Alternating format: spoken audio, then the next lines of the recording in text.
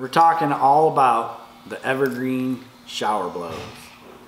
So the Evergreen SB or shower blows is probably the best top water on the market in my opinion. Uh, it's my confidence top water bait and I'll go through all the reasons why. First of all, components wise, the Evergreen is a high-end boutique company from Japan, makes real high-end lures. These things come at a premium price, but they come with premium components. These hooks have a name for themselves alone. In fact, go do your own research. You'll see people hunt down these hooks all the time. Uh, these hooks are coated insanely sticky, sharp treble hooks that come on these baits. And they have beautifully hand-tied feathers on the back, on the back treble here. Really good split rings on them.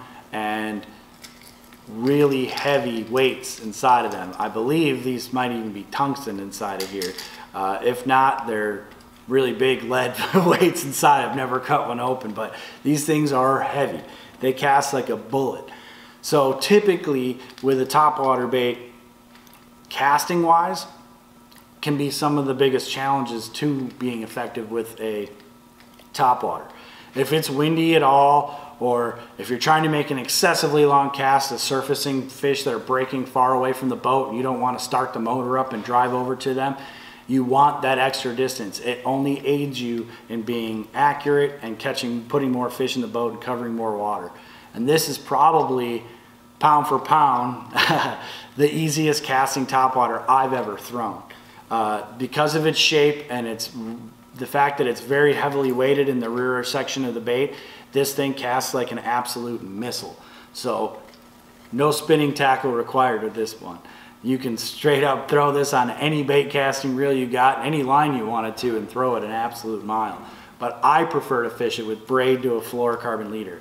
And what I mean by a fluorocarbon leader is a really short section of super stiff fluorocarbon.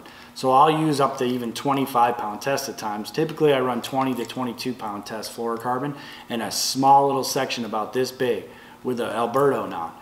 And that all that's doing for me, that little section of fluorocarbon like that, is preventing this these treble hooks from getting tangled up in the braided line.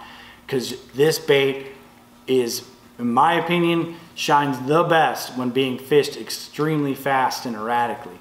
It's one of the easiest baits to walk the dog with which is an action where you're twitching slack line in your, in your rod and you're making the bait walk side to side backwards.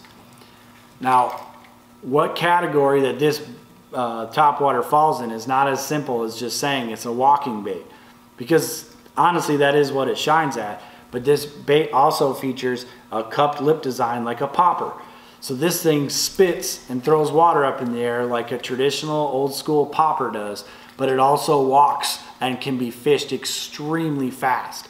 So in where, in my opinion, this bait shines over any other bait on the market is when you're fishing along and you've all experienced it, you hear that fish jump way off in the distance and everybody in the boat turns and says, what was that? And you look over and you see a little ripple on the water and it always tends to be just about 10 feet to 20 feet past where you can ever cast.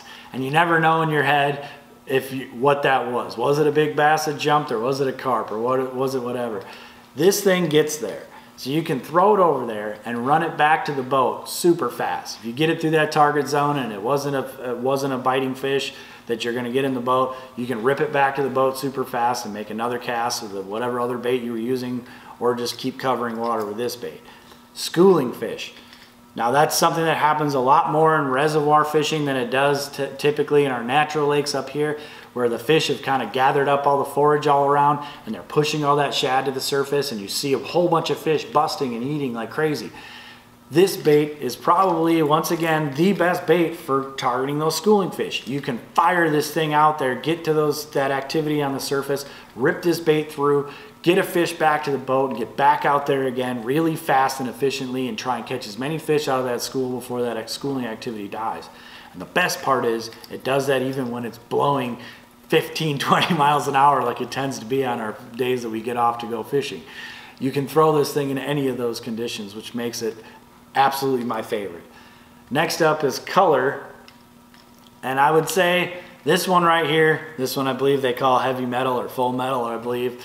Uh, it's a chrome bait, so it's matching shad. which is the most common forage in our reservoirs in the southern parts of the United States. But we have shad in the rivers up here in the North Country and even different species of shad and silver-based minnow forage and the Great Lakes and all over the place. So anytime you're trying to mimic that type of forage, the silvers, the chromes, the whites really do shine.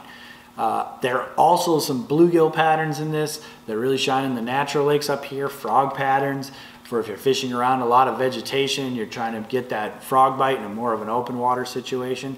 But just remember when you're when you're thinking shower blows, this thing not only covers different categories of top water with being a popper and causing commotion, but it's also a walking bait and great for covering water fast and, and effectively.